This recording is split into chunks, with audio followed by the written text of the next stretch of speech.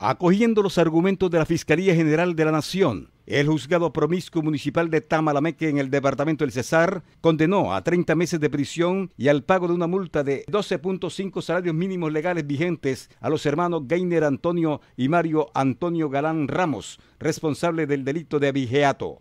Los hechos que motivaron la condena ocurrieron el 8 de marzo del año 2019 en la cabecera municipal de Tamalameque. Ese día uniformados de la Policía Nacional capturaron a los hoy condenados cuando se disponían a llevar 12 movientes a un embarcadero del río Magdalena. La investigación permitió establecer que los animales que fueron incautados corresponden a la raza GIR, propiedad de la institución educativa de Tamalameque y cuyo valor fue tasado en 2.200.000 pesos. Esta condena se logró luego que los sindicados se allanaran a los cargos imputados por la Fiscalía.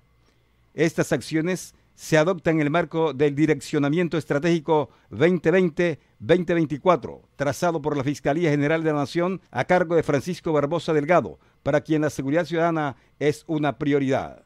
Los delincuentes cada día se las ingenian para robar vehículos. Sin embargo, existe una empresa en Valledupar que los recupera. GPS, alarma, CJ. Te ofrece los servicios de monitoreo 24-7, alarma doble vía, alarma con encendido a distancia, alarma con sensor de proximidad y además venta de GPS, luces LED, exploradoras controles universales, alarmas de carros y cámaras de seguridad. Obtén los servicios de GPS Alarmas CJ.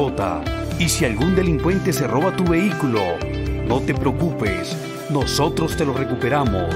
Encuéntranos en la diagonal 18D, número 2050, en Los Caciques. GPS Alarma CJ.